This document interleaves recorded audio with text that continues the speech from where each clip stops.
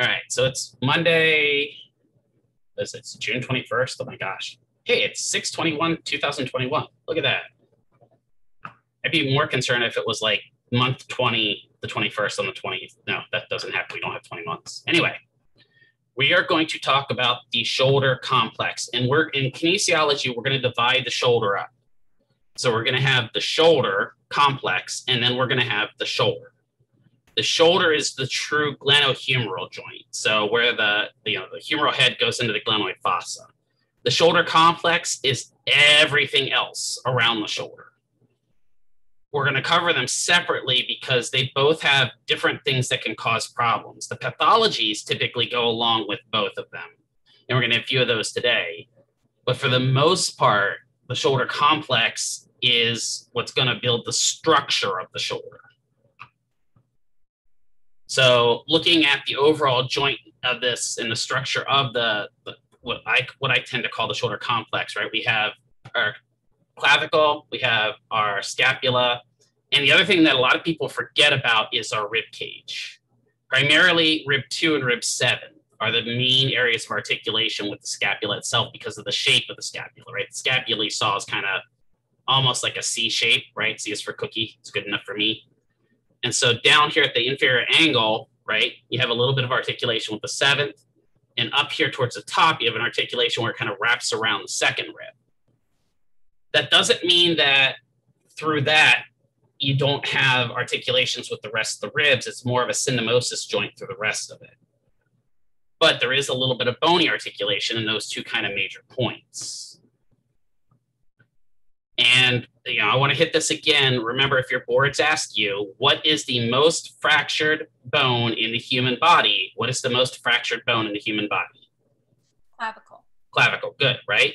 Then if they say, what is the most fractured bone in falls under 65, it's the what? Scaphoid, good. And then over 65, it's the hip. Hip, good, right? The femur. And we actually just had um, one of the students from the other cohort was actually just talked to me. Her, unfortunately, her grandfather fell. And he ended up with a surgical neck fracture of the, the, the femur. So I was like, hey, we just learned about that in the other class. So, and again, the main reason that clavicle is so easy to fracture is just because it's not a lot of meat, right? There's just not much there. Um, I want to say Aaron Rodgers has fractured that clavicle, I think, three times now on one side. So his clavicle is good and sturdy now. He's not going to have any problems as he gets older. So with the scapula, all of these bony landmarks that I have here, you should be able to locate. And why I say this is especially for those of you that are going out on your clinicals right now for um, outpatient. I, and I few talked, I talked to two of you guys on Friday. In your outpatient, if you're going to an outpatient clinic, the two main things you're going to see, although they say post-surgical hips, post-surgical knees, the two main things you're going to see in the outpatient clinic are lumbago, which is low back pain, and shoulder issues. Because just tons of people come in for shoulder issues, whether it's frozen shoulder, whether it's a SLAP repair or something to that effect. So you need to get really good at locating those bony landmarks. Now, the good news is you did most of this. Lumbago, yes, lumbago is exactly like you just spelled it. Lumbago means low back pain. The other term is lumbalgia. Also means low back pain. I don't know why we have multiple terms for it. I don't know why we just don't say the abbreviation for it is LBP, low back pain. But a lot of times when it comes over, and mainly because of the uh, ICD 10 codes, which are the billing codes that come over from Medicare and all the insurances, it has it broken into lumbago. I, I that's what insurances call it. Uh, most of us in the clinic call it low back pain or LBP. So, but understand if you see in the chart that says patient has lumbago, that's fancy insurance talk for back pain, right? Um, you know, if they have like thorac thoracalgia, right? So that's upper or mid back pain, right? And then obviously cervicalgia is neck pain. So nothing ever is easy. I'm just saying. They never make it easy and just like, hey, it's neck pain. Oh, hey, it's mid back pain. No, they've got to come up with fancy terms for it and put all kinds of codes on it. They're just mean to us. That's all I'm saying. Um, you guys don't have to necessarily know all the ICD 10 codes. We'll actually talk about that in fifth semester, but that's kind of the ICD 10 is, you know, if you go to the doctor right now and Truman goes to the doctor and he's sick and he's got the flu, when the doctor sends the bill, his bill over to the insurance, he picks what's called an ICD 10 code, you know, International Classification of Disease, 10th edition code that says, I saw Truman for the flu or I saw him for COVID, or I saw him for strep throat. There's a specific ICD 10 code for all of those. So, kind of getting back to the shoulder here, right? So, we've got our, our very common scapula here, right? Or in layman's terms, that shoulder blade. We have our superior angle, right? Our superior angle is going to be on our medial or vertebral border, right? Our inferior angles down here. We have our vertebral or medial border here. We have our axillary border, which is the border along the what? When I say axilla, that means armpit. Good, right? So that axilla or the axillary border. We have the spine, which is that nice part that you can actually reach back and kind of get a hold of on your scapula, right? That's that kind of bar that goes across, as I call it.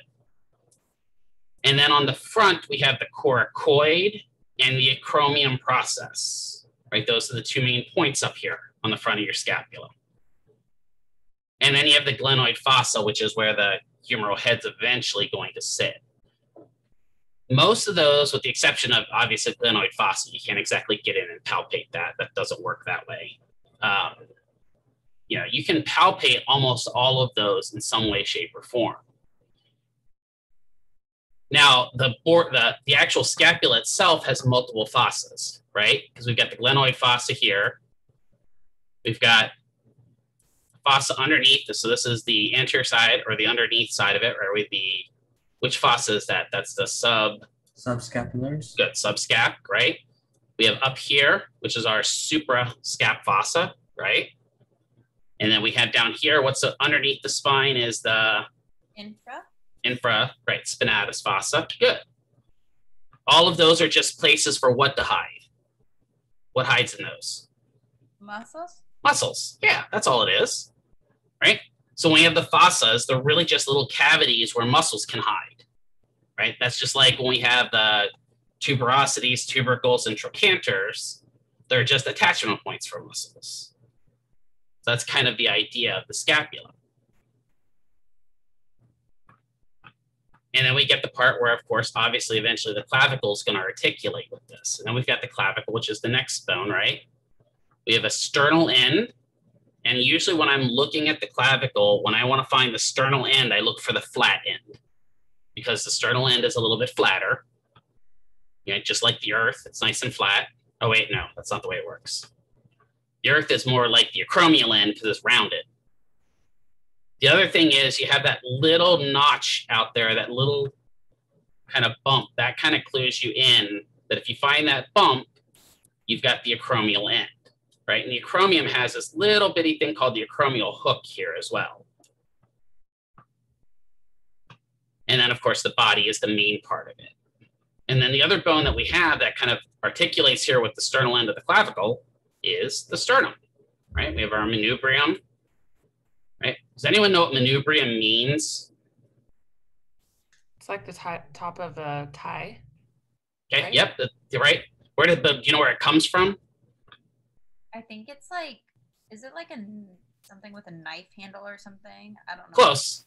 You're, you're on the right thought process. It is to, to deal with combat. Manubria is the, I think it's Latin for shield. And if you look at the top of your, well, your sternum here, it kind of looks like a shield, right? And honestly, when you do a tie up there as well, right, the nubarial knot is kind of shield-like as well. It protects kind of your throat area. And then we got the body, which is the big portion of it. And then we got my favorite part down here, the xiphoid process. I don't know why that's my favorite part of the sternum, but it, I just think the X, we don't have a lot of, that's okay. That's why I asked. The xiphoid is one of my favorite parts just because it's one of the few bones in the human body that starts with X. So I just like that it's xiphoid. Um, when, so when in healthcare can this xiphoid process become a problem for us? Does anyone know? Is it during CPR? Good CPR, and then one other case. What what other life saving method do we do? A Heimlich maneuver? Yes, right. The abdominal thrust. Good, because you got to make sure that when you're doing that abdominal thrust, you find that xiphoid process and go below it, because that xiphoid process is really fine, and it's really easy if you put that abdominal thrust in there, or if you're doing CPR incorrectly, that you can snap that xiphoid process off and send it right into the spleen. And if you send it into the spleen, is that going to be a good day for the patient? No, right? That's a, called a splenic lac or a splenic laceration, and they bleed out quick. So that's why you want to come down when you're doing that. Okay, there's my xiphoid process, right? It's a little tender. And then I definitely want to come down a full fist width below. Or if I'm doing compressions, I want to make sure that I'm lateral to that sternum when I'm doing those compressions. Now, what happens if it just happens? Um, well, you know, if you save the patient's life, then you save the patient's life, right? But just be aware that you got to be kind of careful there. And they're really specific about that when you're doing CPR. Um, again, in the martial arts, that is a major target right there because sitting right below it is a little hole. Does anyone know what we call that little hole that's right below it? Because some of you probably have been hit there before. It's called the solar plexus. Has anyone heard that term before? Yeah, I watch Yeah. a lot of UFC and they say it all the time. Yeah. So the solar plexus, just like you have your cervical plexus, your lumbar plexus, solar plexus is a plexi of nerves that kind of innervates your overall interior kind of gut, lungs, and stuff like that. I'm sure some of you actually hit that at some point in sports because if you get hit there really hard, what happens to you?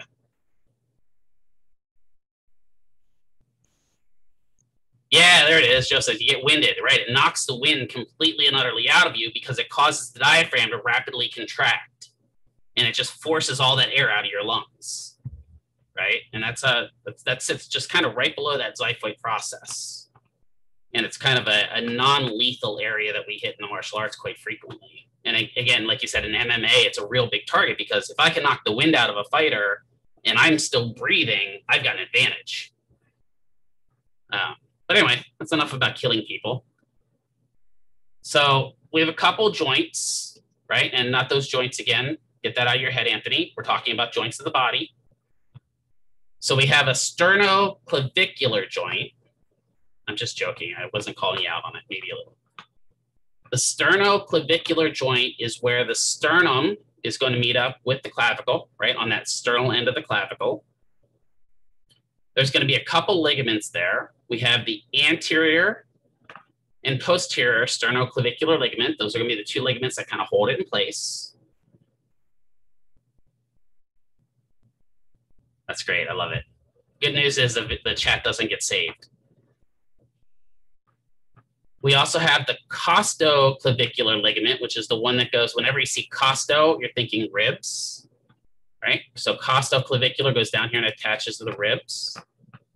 And then we have the interclavicular ligament, which kind of comes like this, right? So we have a sternoclavicular here. We have a sternoclavicular in the back as well, right? Anterior and posterior.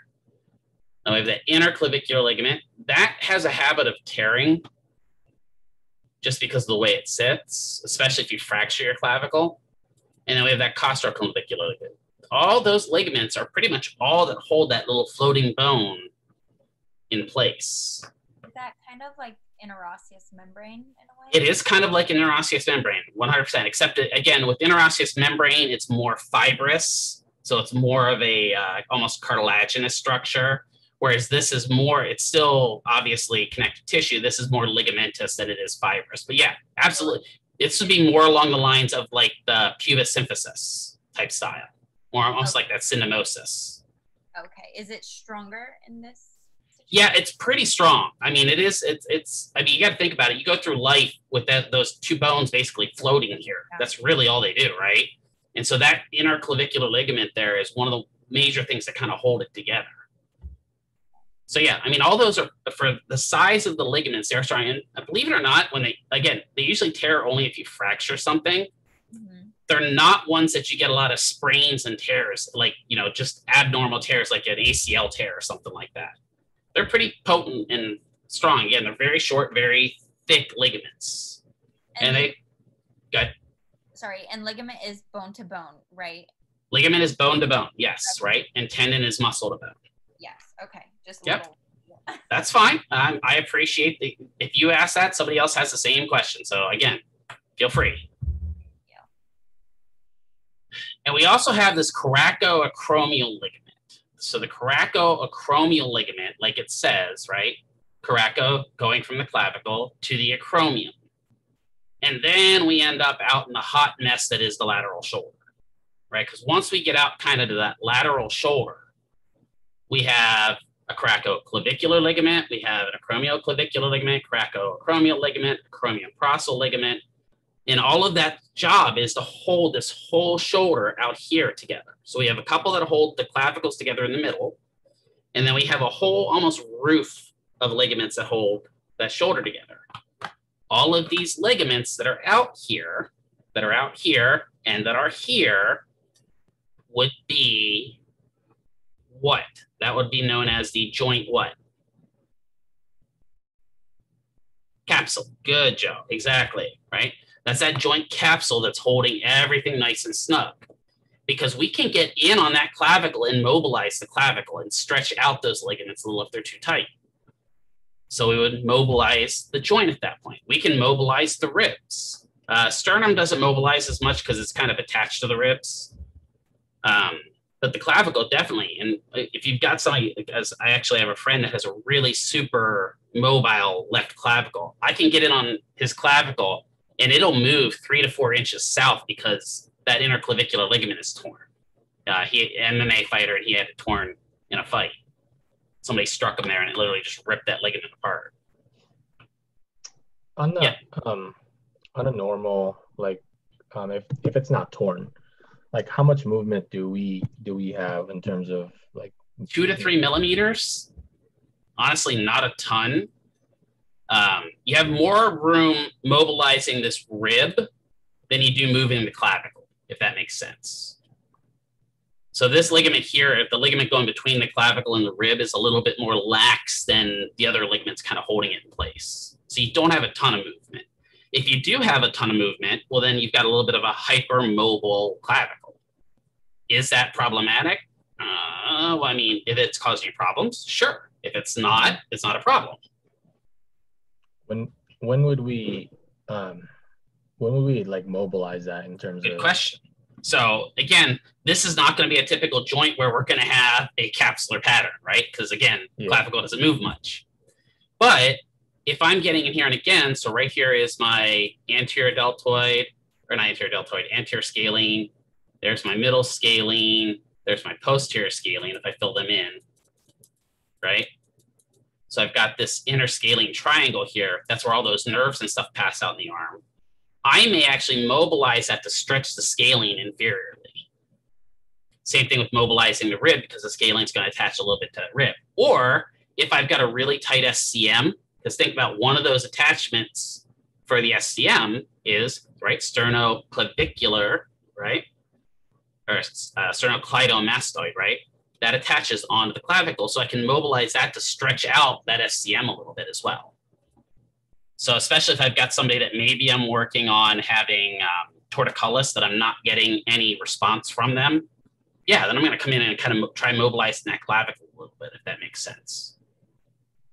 You do that more with like manual or like a Mhm. belt or something? Um, well, I, I tend, yeah, I, I tend to do the clavicle manually because I don't want, I don't want them like screwing up that whole joint up here at the sternum. And again, like literally, if I, you know, if I'm taking this brain here and I'm putting pressure, I mean, it's it's literally that about that mo- amount of motion you're going to get out. It's not a ton. But what it does is out of that tendon, right? Remember we learned out of the tendon, we've got those Golgi tendon organs. Remember that? Mhm. And so if I can mobilize those Golgi tendon organs, sometimes I can cause the muscle to in- involuntarily relax, basically. So I'm not really mobilizing it to get more motion out of the clavicle. I'm more mobilizing it to trigger a reaction in the muscle. The muscles around it. Okay. Yeah. That, makes sense. Thank you. Yeah. No problem. And again, I'm I'm not 100% an upper extremity specialist. I just have practiced this and I've helped somebody get ready for their uh, hand therapy exam. So trust me, I've spent way too much time looking at this stuff. I almost said a bad word. Um, I almost said a bad word. So I spent a lot of time. So Amanda says, when palpating the coracoid process, would it be a bit inferior? Absolutely. Yep. You're 100% on right? So ju- when you're looking at that, so if I go back to the previous picture here real quick. So there we are. So if I'm looking on kind of coming on the front side, what I'm going to do in order to find the coracoid is I'm going to find my acromion, right? So I'm going to come out here and find that tip. And for me, my tip is really sensitive. So I know where that acromion is because my, my acromion is not happy. I've got a hooked one.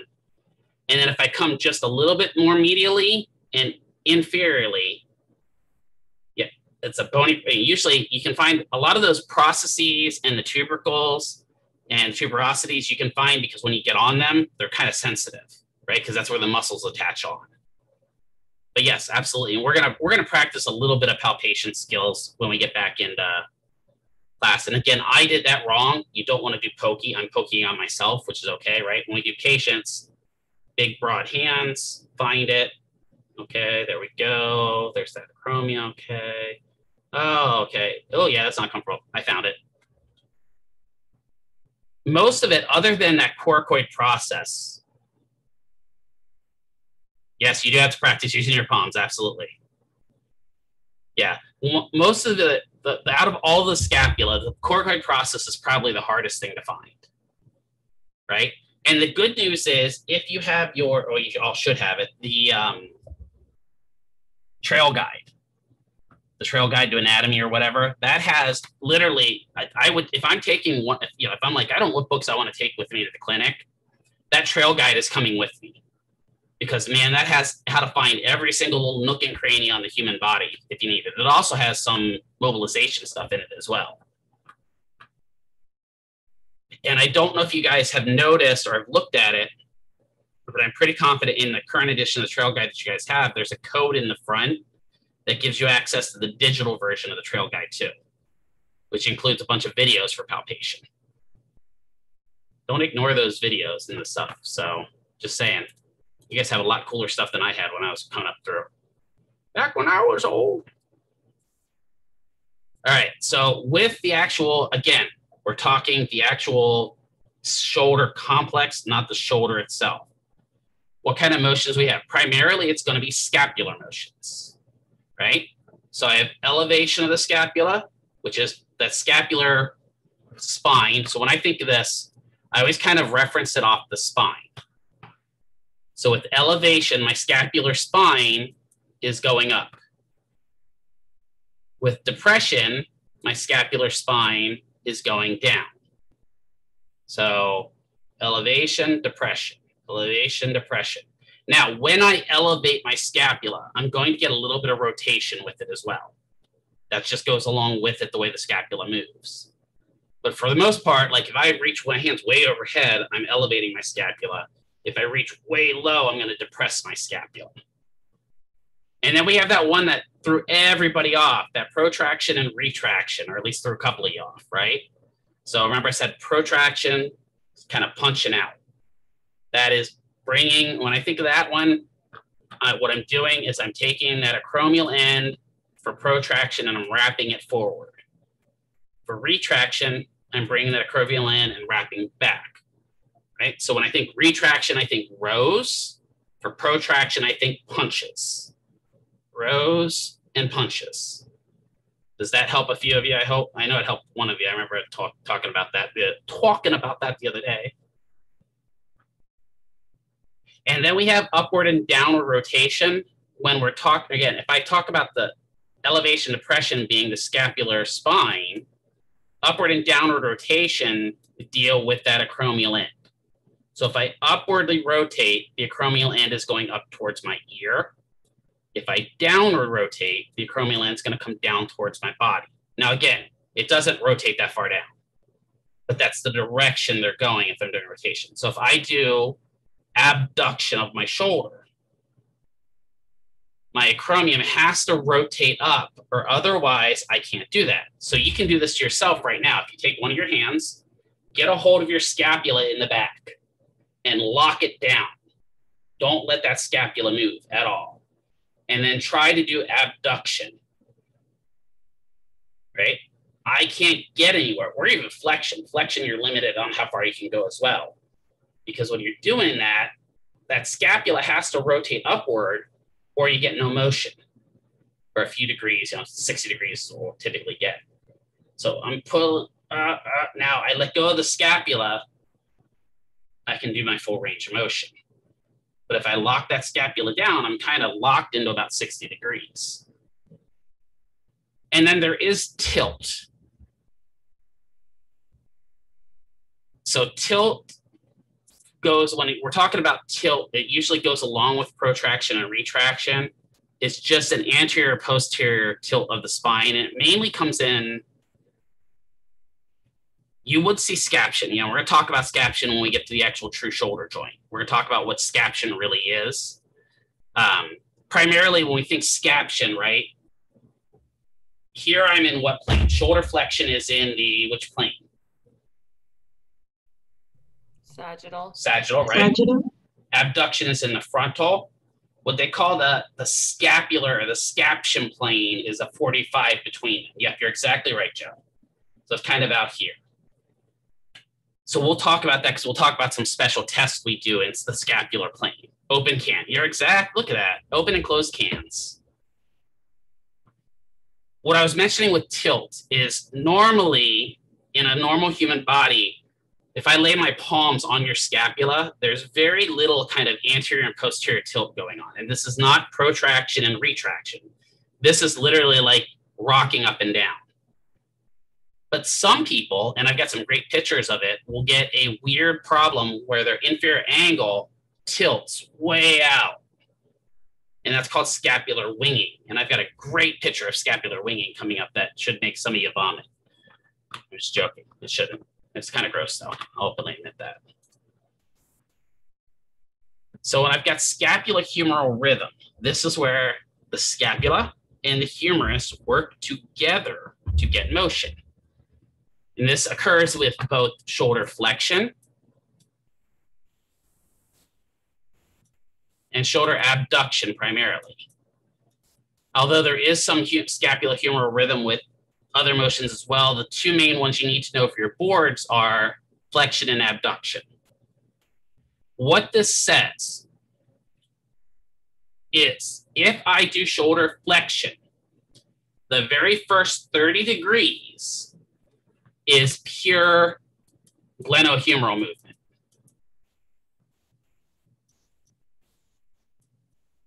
So that's literally just that humeral head moving in the glenoid fossa. So the first 30 degrees, well, also I said also abduction as well. So out here and here, whenever I have to upward rotate the scapula. So the first 30 degrees when I'm doing that here, right? So this first 30 is just the humeral head moving or out here. Out here is a little easier to demonstrate. So those first 30 degrees, so about there. Once I get past this 30 degrees, for every two degrees I go up with my humeral head, my scapula tilts up by one degree. So there's a two to one ratio. So for every degree that my arm goes, every two degrees that my arm goes up, that goes up by one degree. Does that make sense? At least the math of it. Um, No. No, it's it's okay. Nope, that's okay. That, uh, that's why I want to cover it because I want to make sure that we get this. Um, don't have. I should have brought shoulder home. I shoulder knew this. Just kidding. Um,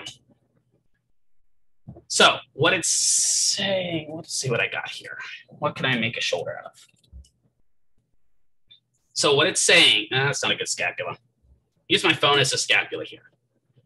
So if this flashlight is my humerus coming up into abduction or coming up into flexion, whichever way I'm going, the very first 30 degrees is just motion in that fossa. Does everyone understand that part of it at least? Yes. Okay. Once I hit 30, yeah, there's a good scapular humor. I was actually going to link that. So thank you, Joe. You're ahead of me. Once you're past that 30 degrees, for every two degrees I go up, the scapula has to rotate one degree. So two degrees, one degree, two degrees, one degree, two degrees, one degree, two degrees, one degree, until I reach my full 180. Makes sense. Makes sense, sort of, right? At least a little. So if my first 30 degrees of shoulder flexion is just pure glenohumeral rhythm, right? Pure GH rhythm. That means my remaining 150 degrees, we haven't covered the shoulder yet, but there's 180 degrees of shoulder flexion, 180 degrees of abduction. That means 150 of it is going to be this scapulohumeral rhythm.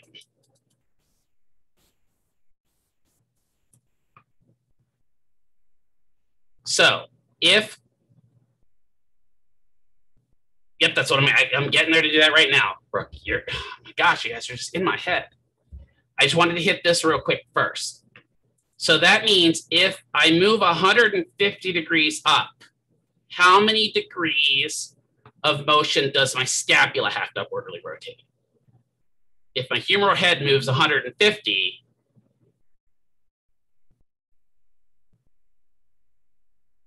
getting all kinds of math here.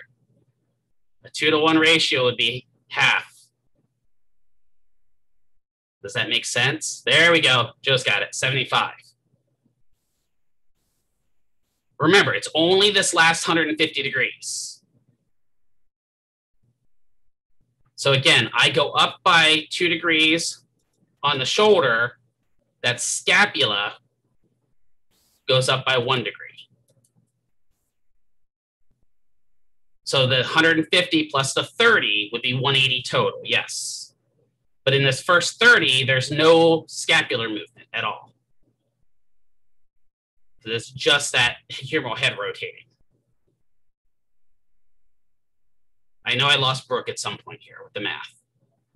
Where did the 30 come in? Yep, so that's what I'm gonna hit. So remember, the first 30 degrees of shoulder motion, Um, either flexion or abduction, is just that humeral head here moving, kind of rolling. That's all it's doing. Okay, but we do we add that to the 150? Well, yeah, when we're if we talk about full shoulder motion, yes, right. So we'd have a full shoulder motion of 180.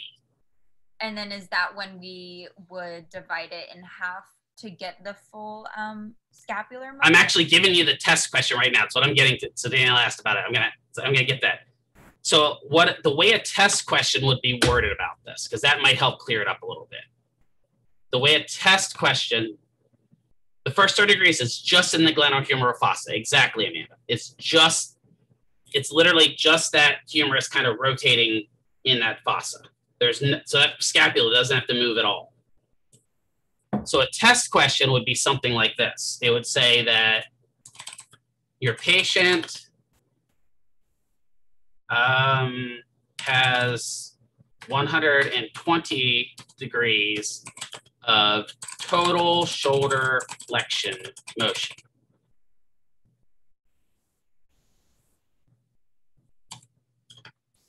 How many degrees of upward rotation is the scapula able to achieve?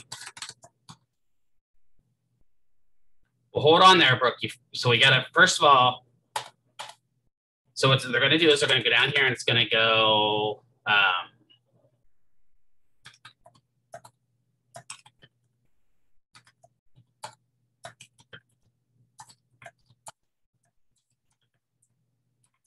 so those are going to be your choices. So what you first, so that's the question. We got, at least we got the question down. So you have to go, okay, so he's got a total of 120, right? That's that was the, the key thing. He's got a total of 120. You got to subtract the 30 out first. Good. Okay, so I've got a couple 45s going on. So we got to subtract that 30 out because all that is is the humeral head in the fossa. There's no scapular motion going on at that point. So when I'm going here, that first 30 degrees, there's nothing going on. And actually, if I lock my scapula down really hard, I can go out there pretty easy. Once I get there, I keep hitting a bony block because what's happening is my humeral head's banging off the roof of my scapula and saying, I can't go anywhere. I can't go anywhere because my scapula is sitting like this, right? So what has to happen when I go past that? So there's my 30 degrees. In order to go past that, I have to have a motion that coincides. They have to work together to rotate up. So if I take that first 30 degrees out, it means my heat, I get about 90 degrees of other motion past that 30. So here, if I get 30, I've got another 90 going up. That means my scapula has to rotate up half of that. So that would be 45. They're not going to make you do it. They're not going to say like 43.2 degrees or anything like that. It's literally going to be this easy of math when you do it. So let's just do another so that we're clear as mud. So let's go with, no, green's not gonna work on a green background. Good job, Mr. McKeever. Let's go, no, where's white? White will show up. So it's not gonna show up when I'm typing. Good job. Mr. McKeever? Yep. Just a quick question, so I don't have it like stuck in my head this way. Are you always going to subtract that 30 degrees? In that case, yes. Why just in that case? Well, if it's asking you about scapular rotation, if we're just measuring to- total shoulder flexion, we don't care about the scapula really. Like if I tell you measure John's shoulder flexion, I'm just asking for his total range of motion. I'm not, you know, so you're going to measure him through his total shoulder range of motion. I don't care. It would say total motion at that point. Exactly, John, right? If I say, okay, measure his total motion and then tell me how much his scapula moves, then you would have to subtract that 30 out, divide that range by half, and that'll tell you how much his scapula moves. Does that make sense? Okay, so the difference is between like the motion versus like the whole range of motion. Right, versus the whole range of motion versus just the scapular motion. Okay, so just pay attention when it says scapular. Yes. So like here, I'm going to say patient is limited to, uh, let's go 30 degrees of scapular upward rotation.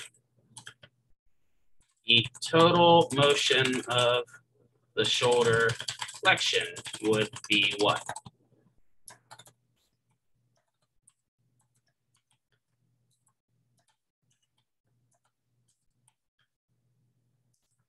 So it'd come down here, be like 180 degrees, 60 degrees, 90 degrees, 120 degrees.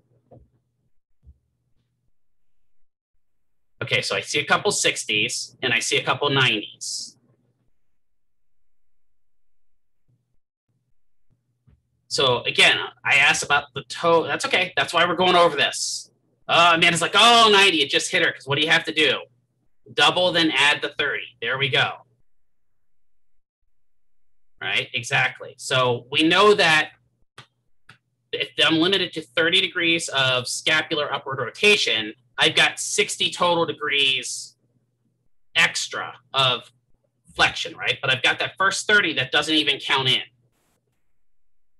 Right, so there's when I'm talking about scapular upward rotation, it doesn't matter right? You need to add it back in once we figure out how much weight. So we know that if the scapula moves up 30, the humerus, yes, right? The humerus is going to move 60. And then you have that original 30 that scapula didn't move. So 60 plus 30, the answer would be 90 here.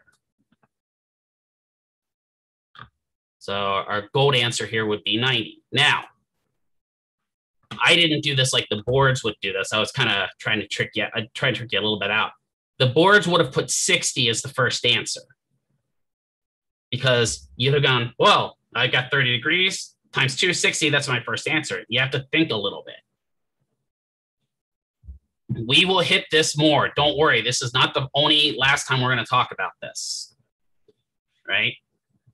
But what it is literally saying again, with either flexion or abduction, the first 30 degrees is just my humeral head and my glenoid fossa. Right? If I actually come here, I can put my hand up on my scapula, and my scapula is not moving at all. Once I get past 30, for every two degrees I go up, the scapula goes up one degree. Till I get all the way to the top if I've got a full range of motion. It's okay, Brooke. That's why I'm going to cover it again. I understand. This is this concept is a difficult one. The other thing your boards may just ask you, and you may get lucky because a couple have got this, it's the math, right? The boards may just ask you, what is the scapula humeral rhythm? And for that, you just have to know it's two to one. That's it. You don't have to do any math. You just have to know it's two to one. Right? So this is saying for every two degrees, the humerus moves.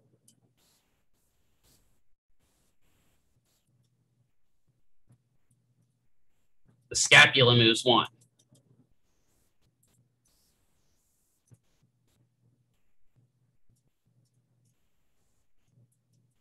Outside of that first 30 degrees. So for every two degrees, the humerus goes up. That scapula has to move with it. Otherwise, you're locked, right? And now let's say I have something like a frozen shoulder. Part of my problem oftentimes in frozen shoulder is scapulohumeral rhythm, where that scapula just is not upward rotating. Why do you think the scapula might not upwardly rotate?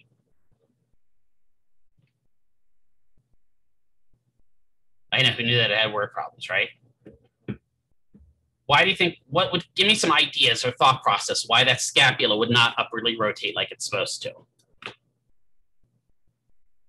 What could cause that? Tight Good, muscle. Hicks tight muscles, good, right? Maybe my lower traps are super tight. That would be a capsular pattern. You're exactly right, Diana. That would be a capsular pattern, right? But maybe it's tight muscle down here. Maybe it might be a tight superior capsule. Maybe it might be a weak levator, and levator's not helping it upwardly rotate or upper trap. Maybe it's a combination of all those. And most of the time, guess what, Anthony? It's a little bit of all of it. Or the other thing that we forget about is maybe it's because the scapula is stuck to the ribs. So for whatever reason, here's my scapula, here's my ribs. It kind of formed a suction cup to it. Now it can't rotate.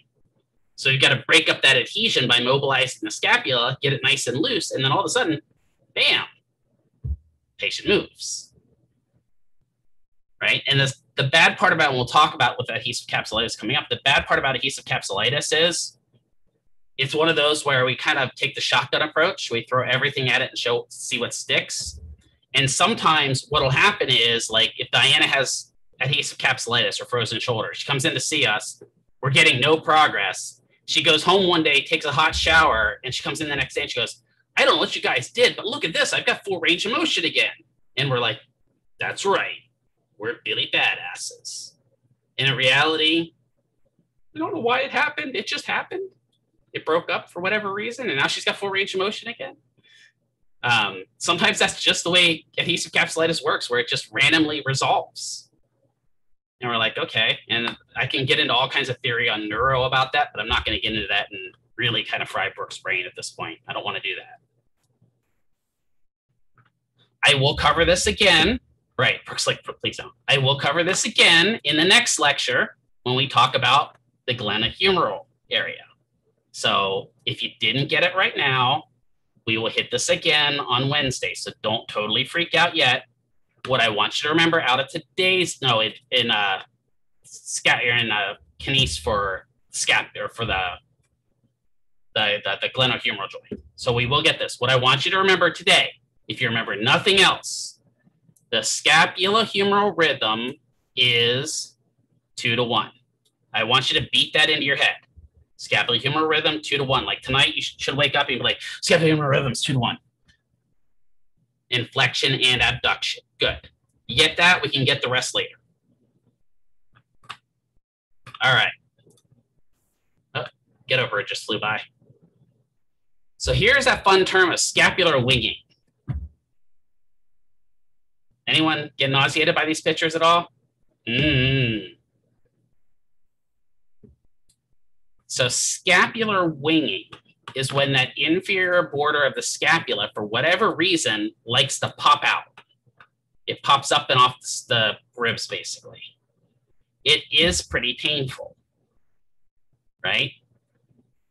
What muscle helps prevent that, do you think? What muscle would help with protraction? Rhomboids a little bit, good. And then serratus, and a little bit of teres minor. Teres minor does a little bit as well, Diana. Not as much as serratus, though. For sure, serratus is the big one, right? So, for example, none of these. I wish I could find the picture of the quarterback that we had in Pennsylvania, but we had this 17 uh, year old quarterback for York High School that we saw, um, and he had severe scapular winging. And when I say severe, his scapula would come 90 degrees off of his body when he threw a ball football. So, like, if this is his back, when he was throwing the football, his scapula was out here. It is, it's not really subluxation, it's definitely a abnormal kinesiology movement. It's hypermobility, right? And so think about this. If every time he throw that football, his scapula is coming out like this, he comes in and says, Man, the middle of my back just hurts every time I practice. Well, it makes sense because all of these back muscles in here are getting just literally ripped apart every time he throws the football.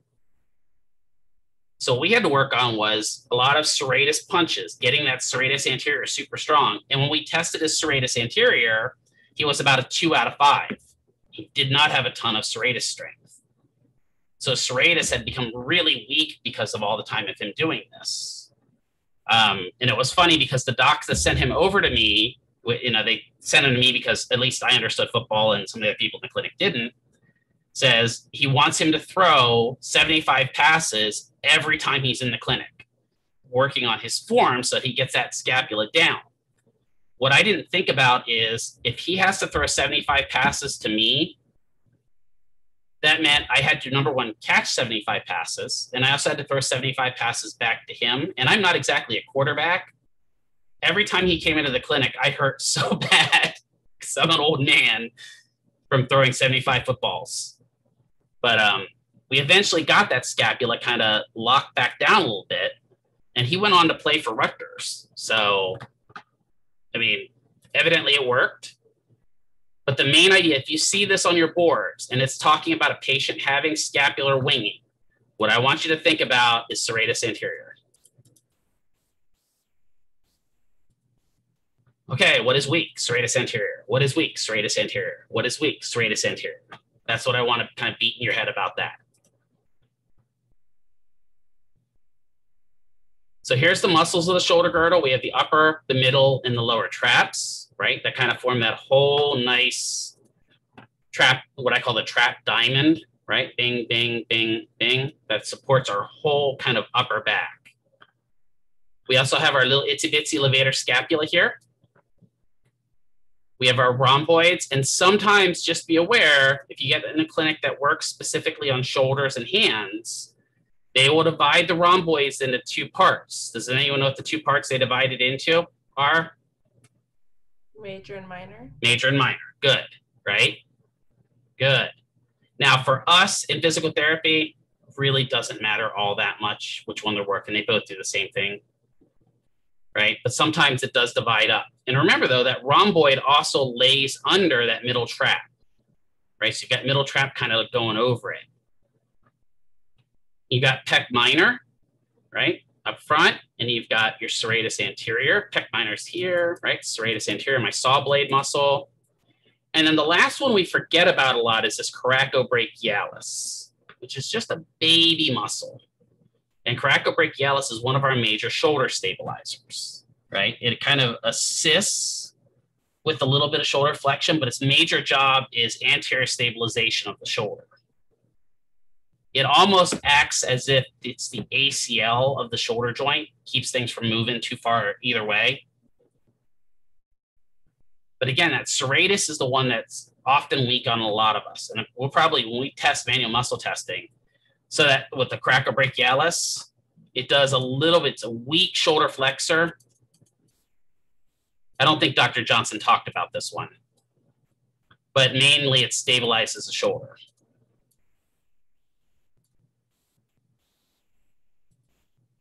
Or as, uh, yes, scapular punches, exactly. Or as one of our uh, Ray from, I think, cohort seven used to say, we're stabilizing the shoulder. Stabilize, stabilize the shoulder. So the good news is with all of these muscles, the only thing you have to remember about them is everything. You should know your origins, your insertions, your actions, and your innervations of all of them. One of this sets of muscles, though, is not innervated by a peripheral nerve. It's innervated by a cranial nerve. What muscle is that? The traps. Good, the traps, right? What mu- what nerve is it innervated by? Accessory. Yes. Now you might ask, why am I talking about this and why would that be important? Let's say I have a spinal cord injury and I have a high level spinal cord injury here. Accessory nerve. Accessory nerve is the, the cranial nerve that innervates your traps. Yeah, shrugs your shoulders, right? Right. It also does a little bit of retraction as well because you got middle traps there and does a little bit of downward rotation of the shoulder. Why am I saying this is important? Again, if I have a high level spinal cord injury, all these other muscles are knocked out because anything below that injury level usually is knocked out. But no matter what, your patient usually has shoulder shrugging motion because that comes right off the brain, comes right out of that cranial nerve. So that's kind of a, a, a neat feature that the human body has built in is that no matter what, you still have a little bit of shoulder motion, even if you have a really high level spinal cord injury. I don't know. To me, that's kind of neat the way that's built, but maybe it's not as neat when I'm seeing everyone just kind of be like, why are you talking about this, Mr. McKeever?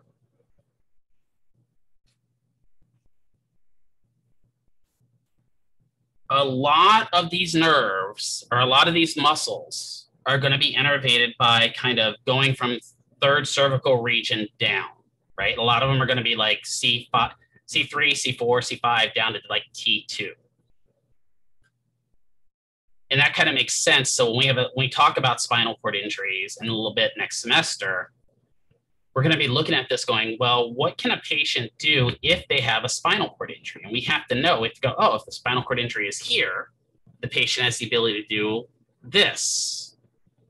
That's what a lot of your board questions are going to ask you is, oh, well, if you have a spinal cord injury here, what can the patient do? And that goes back to your myotones. That's all this is. Now, does the upper trap get some innervation from like C4? Sure, gets some. But most of it is, comes from the uh, accessory nerve. There's kind of like everything laid over each other, right? So most of our neck muscles and our shoulder muscles go all the way down to T12 when you think about it, right? That that lower trap goes all the way down to that T12. So it's kind of amazing when you think about that to me at least. So the force couple, this is where we get multiple muscles to create a singular motion. In the case of something like upward or downward rotation, which we just talked about, involves that scapular scapulohumeral rhythm of two to one. When I get upward rotation of the scapula, my upper traps are going to pull that way. My lower traps are going to help pull spine that way and my serratus anterior is going to help pull me a little bit forward into protraction so that it all kind of works together and rotates up. There's not just one muscle rotating that shoulder, right? And the reason I say that again is if we have a spinal cord injury, maybe here, well, there could be a problem because serratus anterior may be knocked out. if that's the case, they may not get full upward rotation. And that can lead to some major problems because then they're going to be limited in shoulder ran- range of motion. When we go the other way and we go into downward scapular rotation, the pec minor helps pull kind of this uh, lateral or the lateral aspect of the, sca- the scapula down. The rhomboids will help kind of pull at an angle, pull that inferior angle back towards the spine. Right here's my spine. And then levator is going to help pull this up to the north. So it kind of does a whole rotational motion. That's that force couple motion that's going on. It's a bunch of muscles working in concert to work together. Now, the next question I usually get is how in depth do I have to know this? This is literally as in depth as you need to know it. That is why I chose these pictures. You have to know the three muscles that work together to do both upward rotation and downward rotation of the scapula. Does that make sense?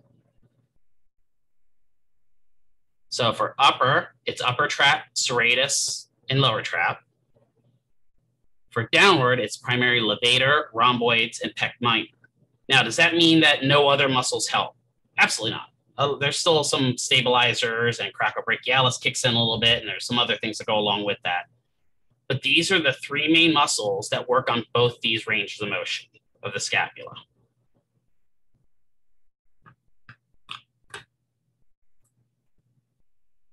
So what do PTAs need to know pathology-wise for the shoulder girdle? Well, you need to know pertinent anatomy, kinesiology of the glenohumeral, acromioclavicular, and subscapulothoracic joints.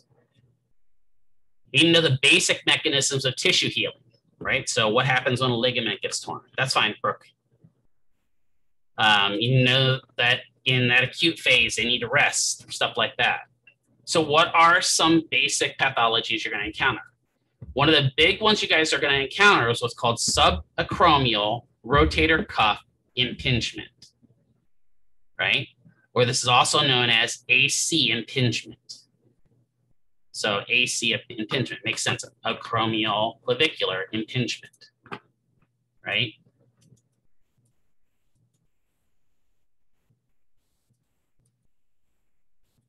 What this is literally saying is the rotator cuff is getting stuck under the acromion. It's a real common cause of shoulder pain. The tendons of that rotator cuff are really crowded and kind of laid over each other, or buttressed and compressed under that coracoacromial arch. And if that area kind of gets some uh, arthritis in it, or maybe you have, there's, so the acromions, there are three different types of acromion. There's a normal acromion that kind of comes out like this. There's a really long acromion that comes out, and then there's one called a hooked. And in a hooked acromion, the acromion kind of looks like that. And when you get that hooked acromion, this hooks right back into all of those rotator cuff muscles that are coming through that space. Yeah, so Joe says I sprained the AC and tore the rotator cuff. Exactly, right? That's a common thing to happen, unfortunately, Joe, is once you sprain that AC joint, it kind of compresses down on that rotator cuff, and then that rotator cuff tears a little bit later. You're exactly right. A lot of this will occur in patients with overhead sports activities. So, what type of patients might have overhead sports activities? Tennis, football, specifically what position? Quarterback, right? What about baseball? What when are we going to see in baseball? The pitchers, right? Unless they're kind of a sidearm, right? And then, yeah, I saw volleyball. That's a big one, believe it or not. Like, especially somebody that's either like, I guess the, the front person or whatever, I, whatever the front line people are called. I don't know. Um, but yeah, it's big. The serving position as well. Yeah, depends on. And basketball when they shoot, right? You don't think about that a lot because you're like, oh, well, that's not. But no, when I come here, I'm over my head again, and that really compresses that thing, right? And if you watch the Philly game last night, you can see how bad players are at shooting. Water polo could be. I didn't think about water polo. Good. Swimmers. There's the other one. Yep. Oh, you have no idea how many people on my Facebook page were posting all kinds of cuss words after last night. Because I'm from Pennsylvania. So when we have rotator cuff impingement, we have to, there is a distinction that needs to be made. So I actually didn't think about that. Goalies in soccer. Maybe he does have an impingement. Yeah, John, maybe that's his problem. Again, distinctions with subacromial rotator cuff impingement have to be made between primary and secondary rotator cuff impingement. And what it's saying is we have to be able to determine is it that acromion that's causing the problem? That would be primary rotator cuff impingement. Or is it that the rotator cuff itself is so swollen because of overuse that it's now impinging on the AC? That would be more of a secondary impingement, where it's not actually the AC that's causing the problem, it's more the muscles themselves or an inflammatory condition of the muscles. Again, primary meaning it's the problem, secondary meaning it occurs from something else. Glenohumeral instability is a common one, right? Anterior dislocations to the shoulders are more common. And when it says anterior dislocations to the shoulder, it doesn't mean that the arm is going this way. That's not what anterior dislocations of the shoulder mean. It means that the humeral head is going anteriorly. So in the case of a quarterback, it's an excellent example of it, right? When a quarterback steps back to throw, their arms out here like this. And the defender is taught to attack out here at the elbow, right? Because if I tack out there at the elbow, there's a good chance I'm either gonna fumble the ball or I'm gonna screw up the pass. But if I attack out there at the elbow, that humeral head is gonna go right forward.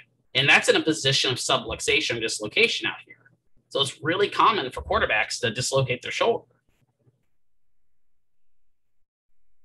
When we have problems like that, we can end up with things called either Bankart or Hill-Sachs lesions.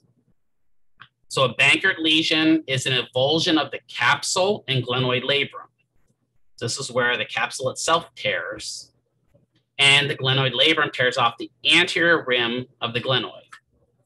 So if my shoulder pops forward, my glenoid, my humerus pops forward, it's going to rip off the anterior labrum in the anterior capsule. A Hill-Sachs, on the other hand, is the opposite. So Bankart is going forward, is the dislocation. A Hill-Sachs is going backwards. So this is usually where the posterior aspect of the humerus smashes into that shoulder in the back. The other term that the book doesn't mention a lot here, but you guys may have heard is, yeah, exactly. Just don't write avulsion into Google if you want to eat. Is this. Has anyone heard of that term before in physical therapy? This is not where you Yeah. slap a patient. Does anyone know what that abbreviation is for? Superior labrum anterior posterior. Very good. So it stands for superior labrum anterior to posterior. What that is saying is in a SLAP tear, I have torn my labrum from the front all the way to the back. Is that going to create some instability? Oh, yeah, right? That's going to seriously create some instability. So a SLAP lesion's another common one that we get. And then we have this fun one down here. And I'm going to tell you with Dr. Ovreskin, do not use that term. Do not use frozen shoulder. She does not like frozen shoulder because she'll say, well, if you touch the shoulder, it's warm, so it can't be frozen. The technical term for it in the physical therapy world is adhesive capsulitis. Adhesive meaning sticky, capsulitis, capsules inflamed. It's usually characterized by decreased shoulder range of motion, pain, inflammation, all that. It's more common in women affecting patients between the 40 and 60 years of age. But men get adhesive capsulitis too. Usually the men's that I see usually get it after 60. But it can affect anyone. And it's an idiopathic disease. Well, that's a good question. Why do you think a lot of this stuff affects women again? Those wonderful hormones. Right? And what's happening between 40 and 60 for women? Menopause. Yeah, menopause. Right. And so the muscles get a little bit of weak from the, the, the weirdness going on with the estrogen and testosterone imbalance that's going on in your body. And so that triggers all kinds of problems with those muscles. Right?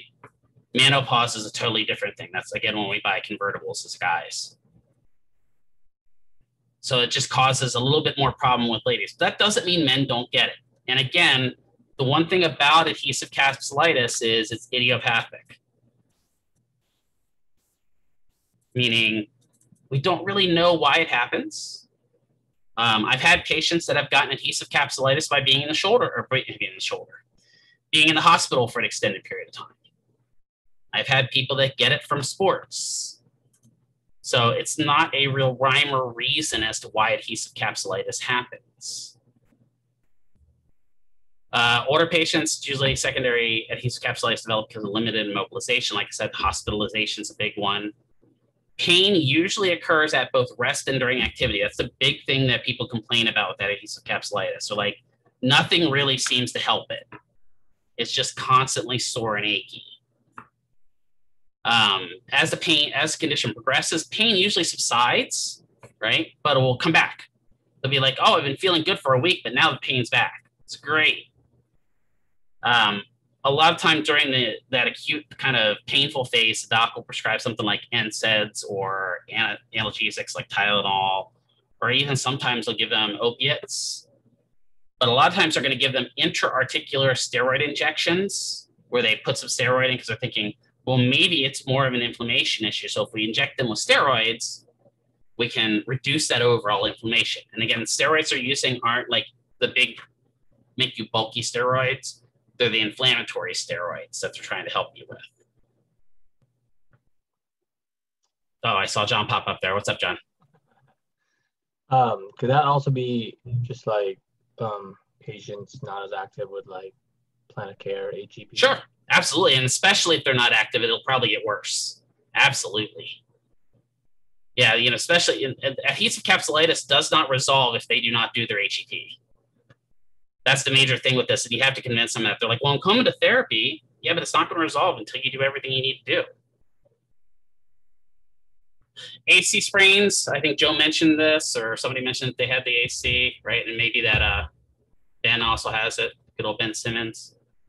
Usually results in a fall on the acromion end where you kind of transfer force backwards. Um, it's graded based upon the degree of injury. So a first degree sprain, usually just a little bit of a stretch. Second degree, you get a pretty decent tear, you get moderate pain and some dysfunction. And then a third degree is when you end up with some real trouble because at third degree, everything tears out. Hold on here a second.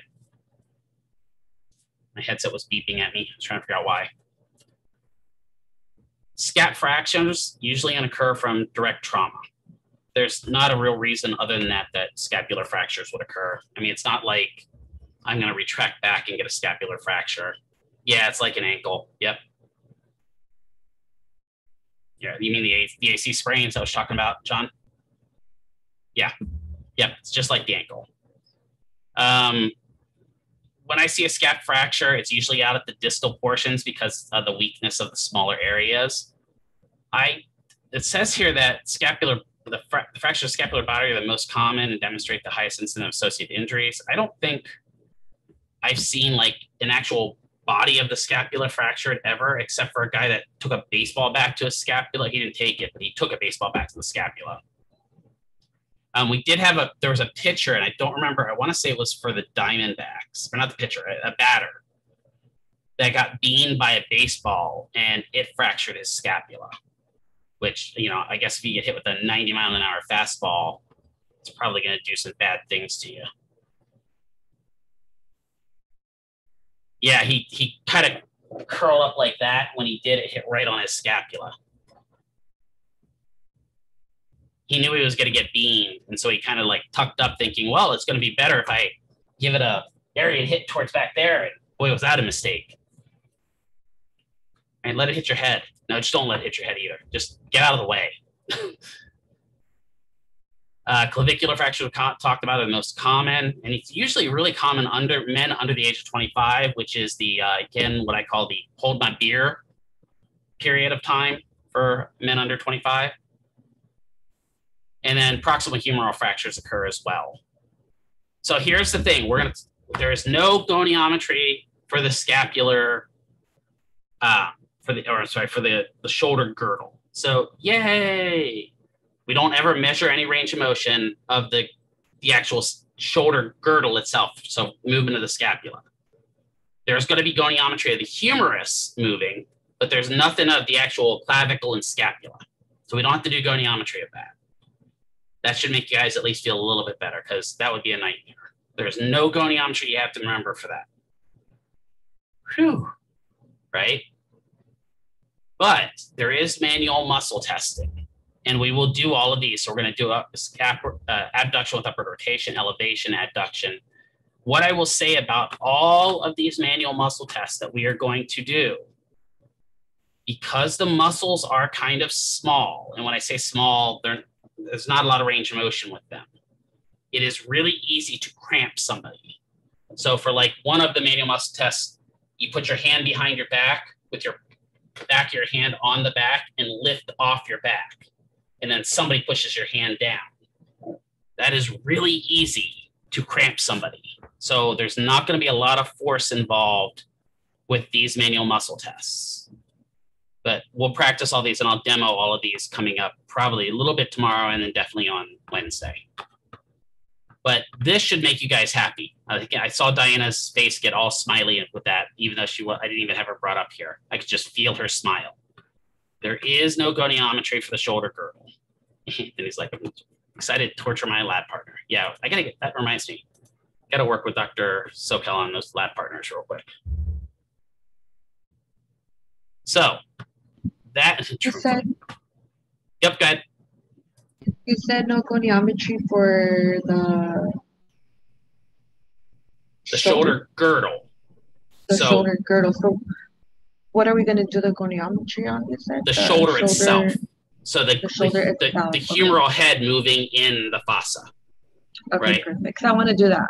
Yep, we're gonna definitely do that. That's that's definitely happening. But there's no way that we can do goniometry of the scapula. It's not like we can lay the goniometer on the scapula and be like, well, it looks like it moves three degrees. We have an estimate about what it moves, but we're not gonna measure it. That'd be Okay. silly. Um, there are some that actually show goniometry of the clavicle, but I don't know why. You can there's a one that you- actually measure the clavicle when it moves, but yeah, no, we're not gonna do that. That's just silly. I'm not having it. All right, that's it for the scapula. The the uh, uh, they are on order, so hopefully soon. Um, what's what I was going to say? If any of you would like to sign out a goniometer, in case that's something you're interested in, or sign out a set of goniometers, I will be on campus on Wednesday morning um, from like eight till probably eleven thirty ish, doing anatomy feel free to come in. We'll also be on campus the following week as well. If you guys want to come in and sign out a goniometer, maybe to practice some of this at home, you can come in and sign out some of the loaners we have and then, you know, bring them back once you get your kind of bone from us. So if that's something you're interested in, feel free to stop by. Um, if you want to wait a little bit. Oh yeah, you could return your reflex hammers if you have them. That'd be a good idea, John. Or anything else you might have borrowed from me. Um, so it wasn't your group, but somebody had my flashcards. I was like, where did my flashcards go? Uh, yeah, Amanda's at a link to some goniometers. It's pretty cheap. Yeah, seven bucks on Amazon's about what they are. So I'm gonna stop recording here.